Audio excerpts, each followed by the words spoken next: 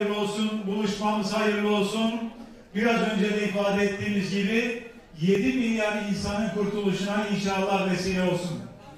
Çok değerli İzmirliler, çok kıymetli milli görüşçüler.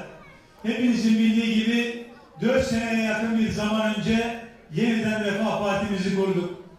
Kasım ayında 2018 yılında yeniden Refah Partimizi kurduk ve aradan geçen süre içerisinde bu dava ellerinin sizlerin gayretiyle 300 bine yakın resmi üye, neredeyse mecliste grubu bulunan siyasi partilerin üye sayısı kadar bir üye sayısı.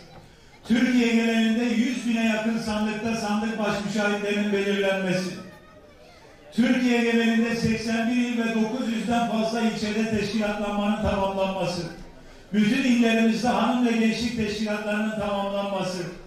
Pek çok ilimizde mahalle ve köy teşkilatlarımızın tamamlanması ve bütün bunlarla birlikte bu çalışmalarımızı taşlandıran daha partimiz kurulduktan 11 ay geçmesine rağmen Ankara Arena Spor Salonu'nda 17 Kasım 2019 yılında Türk siyasi tarihinin en büyük genel kurulu 50 bine yakın insanın katılımıyla gerçekleşen o muhteşem büyük kongrenin gerçekleştirilmesi.